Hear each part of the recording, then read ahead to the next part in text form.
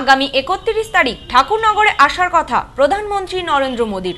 তার আগে মাঠ পরিদর্শনে এলেন বিজেপির এক প্রতিনিধি দল। আগামী একত্রিশ তারিখে ঠাকুরনগর ঠাকুরবাড়িতে আসবার কথা প্রধানমন্ত্রী নরেন্দ্র মোদীর। প্রধানমন্ত্রী আসার আগে ঠাকুরবাড়ির সভা মাঠ পরিদর্শনে আসেন রাজ্য বিজেপির একটি প্রতিনিধি দল। শনিবার দুপুর নাগাদ রাজ্য বিজেপির সাংগঠনিক সম্পাদক প্রতাপ ব্যানার্জি সহ জেলা নেতৃত্বের একটি দল ঠাকুরবাড়িতে আসেন। তারা প্রাক্তন মন্ত্রী মঞ্জুল কৃষ্ণ ঠাকুরের পুত্র শান্তনু ঠাকুরের সাথে বেশ কিছু সময় মাঠ নিয়ে কথা বলেন। পরে সরেজমিনে ঘুরে দেখেন মাঠটি।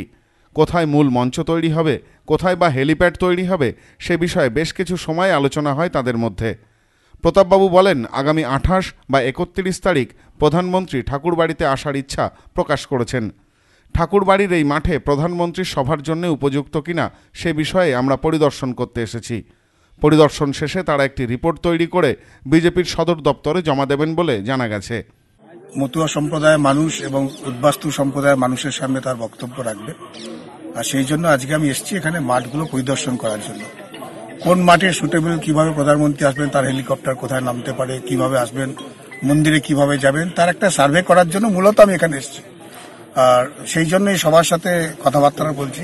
এ বিষয়ে শান্তনু ঠাকুর বলেন মতুয়াদের বেশ কিছু অসুবিধা নিয়ে আমরা প্রধানমন্ত্রীকে ঠাকুরবাড়িতে আসবার আমন্ত্রণ জানিয়েছিলাম। আমাদের ডাকে সাড়া দিয়ে আগামী একত্রিশ তারিখ ঠাকুরবাড়িতে আসবেন প্রধানমন্ত্রী নরেন্দ্র মোদী।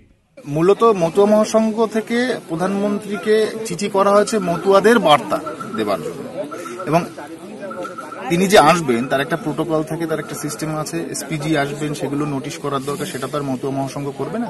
সেটা রাজ্যের ভারতীয় জনতা পার্টি হিসেব করে তাদের নিতে হবে। তার জন্য নেতৃত্ব প্রধানরা এসছেন এখানে, এবং তারা সার্ভে করছেন মূলত মতুয়াদের সমস্যা সমাধানের জন্য আজকে প্রধানমন্ত্রী এখানে আসছেন, তাতে bureau report, news, no man's land, Thakurnagar.